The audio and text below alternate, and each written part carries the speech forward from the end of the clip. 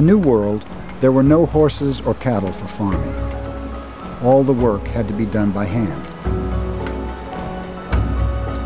The only large domestic animal was the llama, but these docile creatures have never been harnessed to a plow.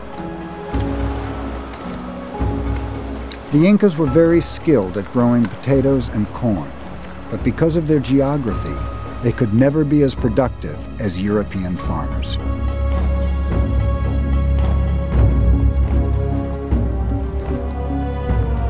Horses gave Europeans another massive advantage. They could be ridden.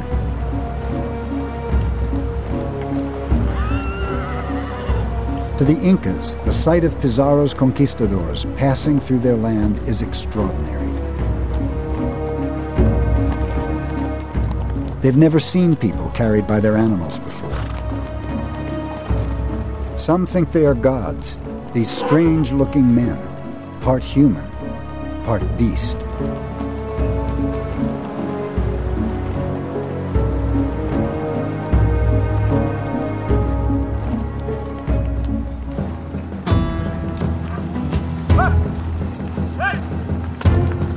The horses that seemed so exotic to the Incas had already been used in Spain for 4,000 years.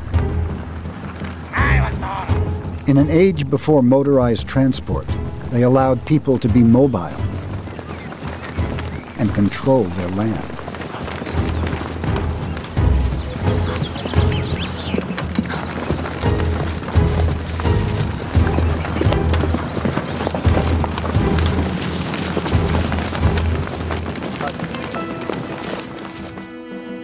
Lo voy a cambiar a la otra mano, haciendo una pirueta. When Javier Martin is not herding cattle, he gives displays of traditional Spanish horsemanship. Para que se arranquen ahí. Para que se vea. This style of riding is known as jineta. The emphasis is on control and maneuverability, using bent knees to grip the sides of the horse and only one hand on the reins. Para dejarlo a él más dentro. Very different from the more formal style of medieval knights. Ahora le voy a parar al lado. By the 16th century, the jineta way of riding had become the dominant style of the Spanish cavalry. This is how the conquistadors would have ridden their horses. Lo del acoso. Oh, It's an amazing display of a big animal being controlled by a person, precise control, stopping and starting and turning. Javier told me that he has been riding since he was five years old. And when I watch this, I have a better understanding of where the conquistadors were coming from. They were masters of these techniques and they learned these techniques for working with bulls, but the t- techniques were also good in a military context as well. And I can see that this control would let you ride down people in the open. People who had never seen horses before would have been absolutely terrified watching this.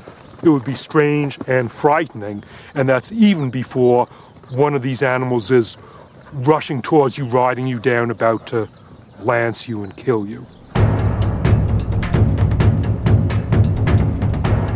News of the godlike strangers on their four legged animals is taken by royal messenger to the emperor of the Incas, who's camped in the valley of Cajamarca in northern Peru, guarded by an army of 80,000 men.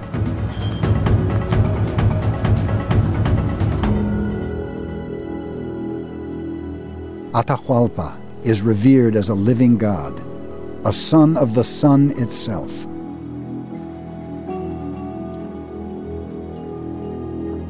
He's in Cajamarca on a religious retreat, giving thanks for a series of recent military triumphs.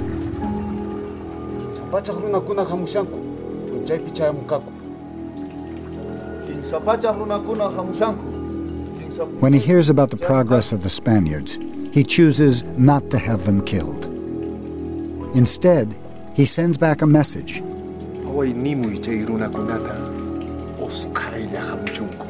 He invites them to join him in Cajamarca as quickly as possible.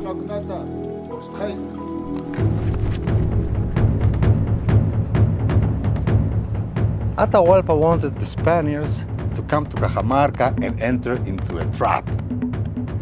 And to be sure that they would do so, he played like a psychological game with them, sending presents, asking them to come. Atahualpa knew that the Spaniards were not gods.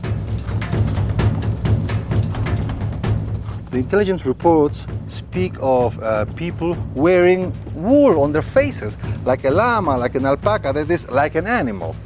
Then they went from one place to the other wearing on top of their heads a little pot that has never been used for cooking. You need to be crazy to walk with a pot.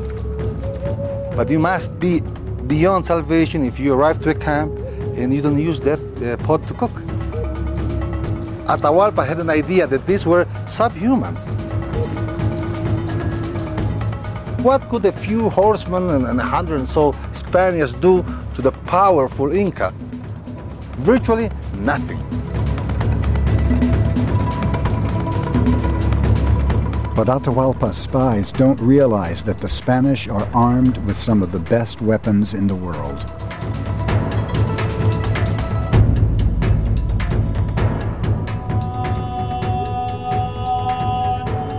At the time of the conquistadors, Spain had the biggest army in Europe, orchestrated from the imperial capital, Toledo. For more than 700 years, the Spaniards had been at war, fighting against the Moors and other European armies. There was an arms race in Europe. To survive, the Spaniards needed to keep up with the latest in weapons technology. Hey!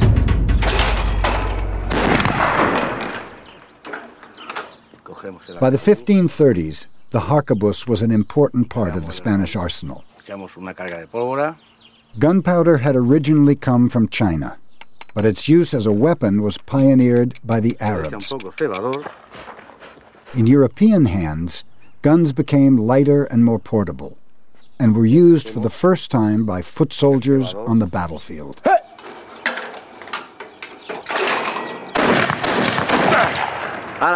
The harquebus was still a crude weapon, but would go on to change the face of warfare.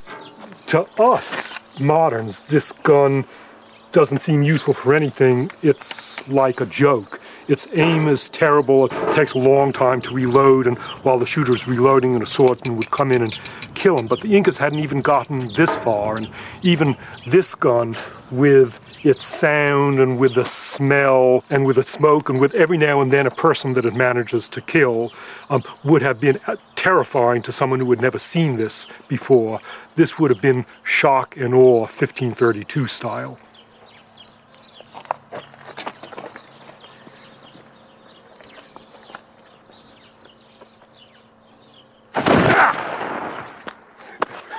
For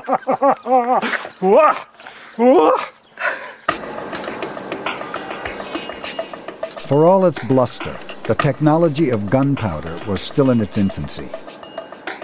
The real power of the conquistadors lay elsewhere, with the production of steel. Toledo had some of the best swordsmiths in the world. But why were people here able to craft deadly steel weapons while the Incas were still making simple bronze tools.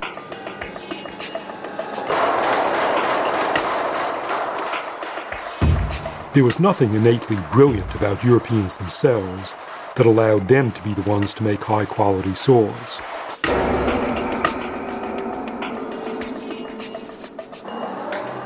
Just as with guns, swords were the result of a long process of trial and error that began outside Europe. People started working with metal in the Fertile Crescent 7,000 years ago. And because Europe was geographically close to the Fertile Crescent, Europeans inherited this metal technology.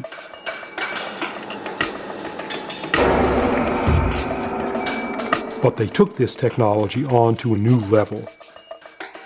European soldiers demanded stronger, longer, sharper swords.